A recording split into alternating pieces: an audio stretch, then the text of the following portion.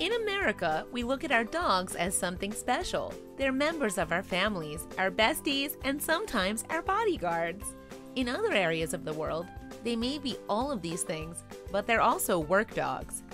While this isn't a bad thing in itself, when canines in these positions are looked at as no more than tools to get things done, their owners can start to see them as just as that too, and nothing more. Dogs are a huge help on farms, and as one doggy named Lambert knows all too well, a lot of rural farmers often treat them worse than their tractors. In Western Ireland, neighbors had noticed Lambert chained some nasty abandoned farm equipment and apparently forgotten about. They called the Galway SPCA, who were amazed at what they found. Lambert had no protection from the icy Irish rain, and during the wet weather, he was left outside in a huge pile of mud.